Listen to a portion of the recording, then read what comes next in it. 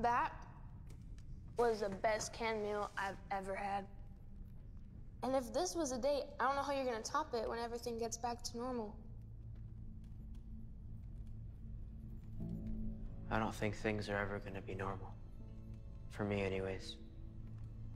What do you mean? Wayne Manor's gone. And I know that a lot of people lost a lot more, but part of me wonders if it wasn't fate. It wasn't. It was Jeremiah blowing up your house. Maybe it's time to move on. You mean like leave Gotham? Bruce, forget Wayne Manor. This city is your home. And how many terrible things have happened to it because of me? Galavan, Ra's al Ghul.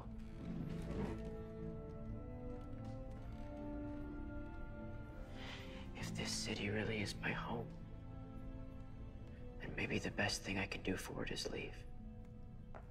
I have to say,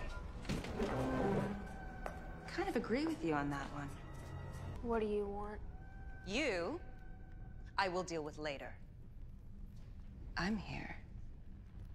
For you. I need you to come with me. Why would I do that? Because you love me so much. Well, not yet. You will. Don't mess with him, Ivy. Protecting your boyfriend. It's cute. But I thought that might happen, so I brought a friend.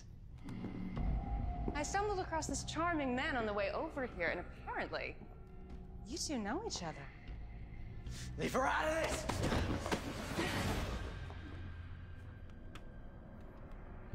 You know, I heard you talking about the future of Gotham. But Gotham will be what I decide. The green world. Won't that be beautiful? Gorgeous. Hmm. And I have to go. You always did think you were better than me. But without my plans, you never would have left your bed. I made you strong again.